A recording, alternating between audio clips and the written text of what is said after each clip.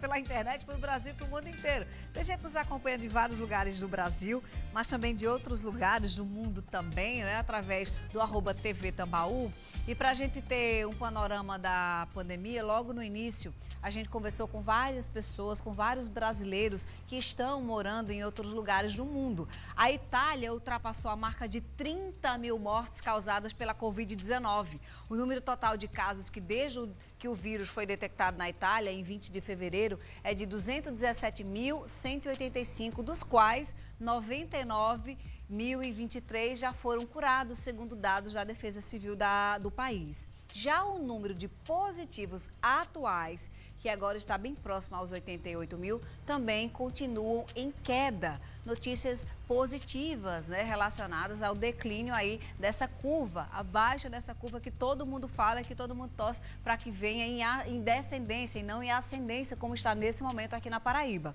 Então, com a curva de contágio diminuindo, o país decidiu iniciar o desconfinamento. Isso aconteceu semana passada, no dia 4 de maio. Então, é agora que eu vou a Roma conversar com a brasileira brasileira Jaciere, que já mora lá há oito anos e traz um pouquinho da situação de lá pra gente. Oi, Jaci, boa tarde! Saudades! Boa tarde! boa tarde, ouvintes, boa tarde a todos da TV Tambaú.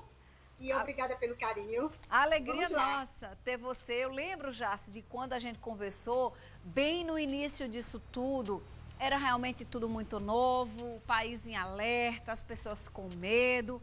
Né? E passado essa temporada de quase 60 dias, algumas coisas já modificaram. Por exemplo, faz uma semana né, que aconteceu esse decreto de desconfinamento, de relaxamento, mas não está tudo liberado. Né? Ainda me parece que não é possível circular o bel prazer por aí, não, né?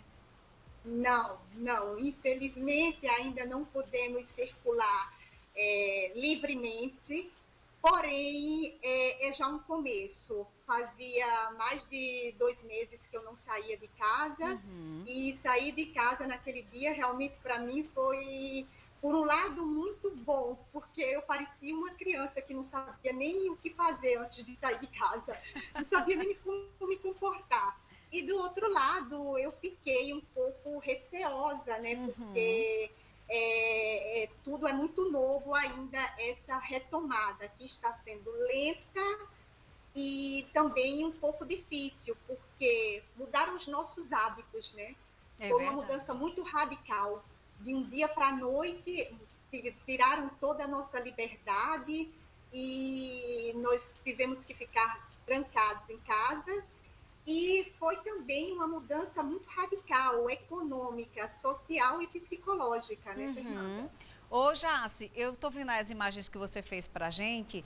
Eu notei até um fluxo de pessoas. A semana passada eu, eu conversei com o Jonas, que está em Portugal. Ele também fez essas imagens da gente. Tinha menos pessoas em Portugal do que eu tô vendo aí, né, em Roma. Então, assim, como é que você notou a resposta das pessoas a essa re reabertura que a gente está entendendo que ainda é gradual? Então, deixa eu te falar. Aí onde vocês estão vendo é uma rua extremamente movimentada.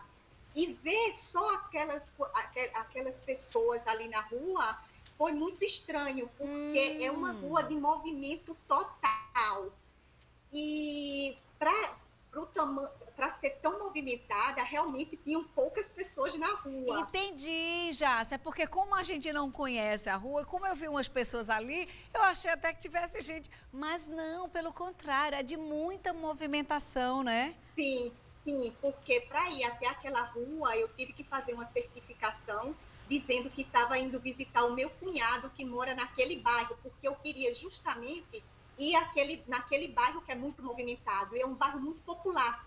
Hum, agora já se é como é que quais são as regras? Vocês podem ir para onde? Quais são as regiões que vocês podem ir? Qual, o que é que ainda está proibido? Ainda está proibido visitar amigos, ainda está proibido sair de casa para passear na rua. Inclusive eu fui fazer isso num bairro aqui vizinho, mas como te falei, eu levei a certificação, né? Naquele bairro eu não podia estar, na verdade, sem máscaras e sem luvas, sem luvas, dependendo. Se eu entrar em, um, em, uma loja, eu tenho que usar as luvas.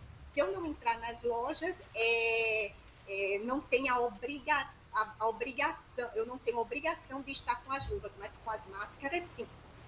É, e eu levei a certificação que ia visitar o meu cunhado e fiquei com medo, porque, na verdade, estava gravando aquele vídeo e não sabia se tinha um controle ou não que estava me observando. Olha como é tudo muito novo, né? Até quando tem algum ar de liberdade, você se sente vigiada, não é, Jace? Ex exatamente. Quando eu estava, quando nós terminamos e tornamos a casa, que estava voltando para casa, é, vimos que tinha um controle, tinha polícia na rua parando algum, alguns carros. Uhum. E realmente é muito estranho. Foi estranho ver toda, todas as pessoas com com as máscaras.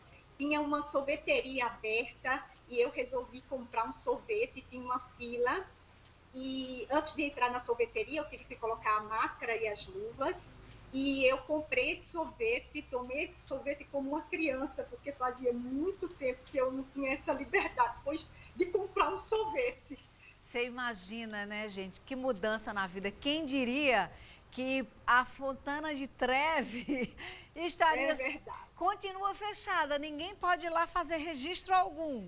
Não, continua fechada. Quer dizer, as pessoas que moram ali na, na, vizinho que mora no centro podem sair de casa porque já moram ali no centro, né?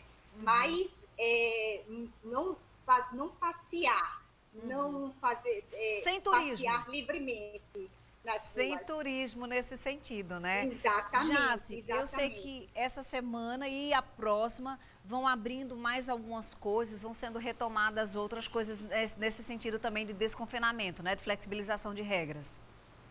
Exatamente. A partir de segunda-feira, todo o comércio vai ser aberto uhum. e é, tem até uma grande preocupação em relação aos restaurantes, porque os restaurantes aqui em Roma aqui em Roma, é, a maioria dos restaurantes, eles são pequenos e muitos proprietários estão é, é, com medo, quer dizer, não com medo, estão receosos de abrir o restaurante porque só vão poder é, receber poucos clientes. Uhum. Né? Então, assim, então, aquele, depois...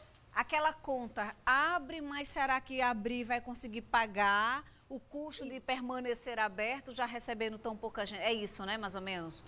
Exatamente isso. Então, eu tenho até um casal amigo e eles, eles trabalham todos dois no mesmo restaurante. Uhum. E ele, o proprietário os contactou dizendo que com a reabertura, infelizmente, vai poder ficar só, vai poder chamar só um deles para recomeçar e não todos os dois. Nossa, desemprego, né? Acaba sendo.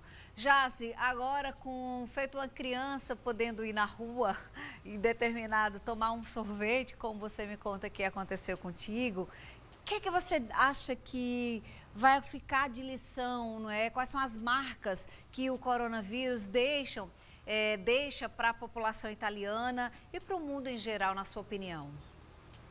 Olha, Fernanda, para mim é a fé acima de tudo, a união, porque sozinho a gente não constrói nada e não vai para lugar nenhum, e a força para recomeçar, né? Que todo guerreiro precisa de força para recomeçar.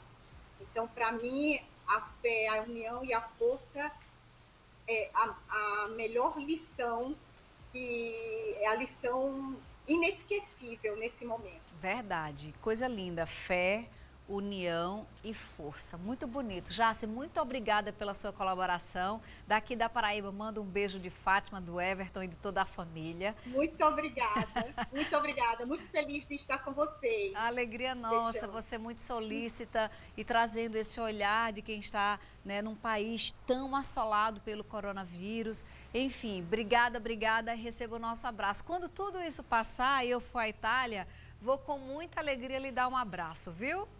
Que bom, será um prazer recebê-la, Fernanda. Um grande beijo a todos, a todos vocês. Saudades. Um beijo, meu amor. Fica com Deus. Vocês estão entendendo como as coisas estão mudando e como as pessoas também estão mudando, que vai mudar todo mundo? Acho que não. Eu não vou ser tão otimista a esse ponto. Tem gente que vai continuar tão igual ou até mais egoísta do que era antes disso tudo.